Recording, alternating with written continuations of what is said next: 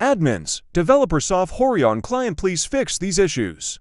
That does not work in Realm servers. Command block exploit crash ascensionting an item does not work. Giving an item does not work. I would be really happy if it gets fixed. Also for the people that are watching please like and subscribe.